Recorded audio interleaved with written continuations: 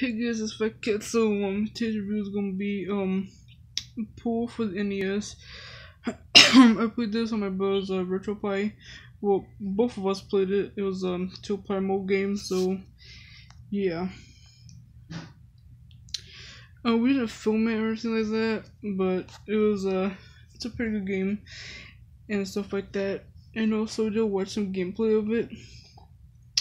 Cause I, I can't remember if like the game had sound um when we were playing it, but I'm pretty sure it didn't because um his he said he said his um power cord uh, wasn't powerful enough. I guess I don't know how the um I really don't know how the uh virtual play works, but yeah.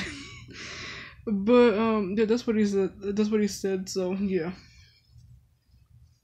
but um it's a pretty uh, fun game. Uh, I did noob out here and there, but you know I did get like a few um, a few balls in there in the holes, paws. But yeah, it's pretty fun and uh, it's pretty awesome and stuff like that. And of course, I did up uh, see um gameplay of it,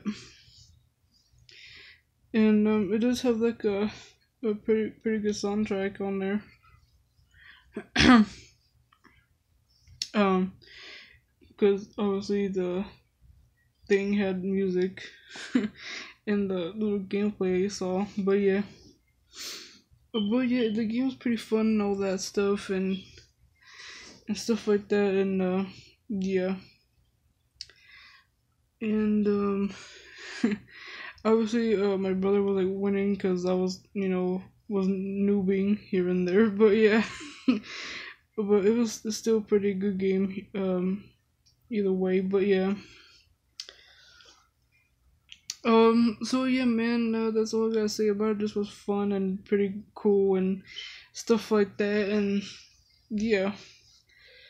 And uh yeah so that's uh pretty much it. Just freaking awesome awesome mouse game so yeah. That's pretty much it. Peace